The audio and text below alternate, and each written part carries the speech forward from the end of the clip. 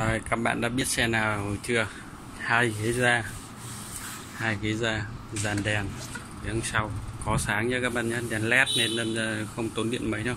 Đây vị trí chân sạc đây, bên tay phải hướng ngồi với vô lăng, đối diện đây nút bật tắt. Đây khi mà sạc thì đèn đỏ này, là báo điện vào này, xe sẽ không bật được.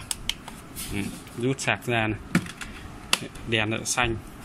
không mà ờ, sạc đầy nó cũng xanh như này và đây bật này. Bật lên. Đó. Đèn. Đèn led. Có thể bật tắt được. Bật tắt ở đây. Đấy, siêu xe đây. Các bạn biết xe gì chưa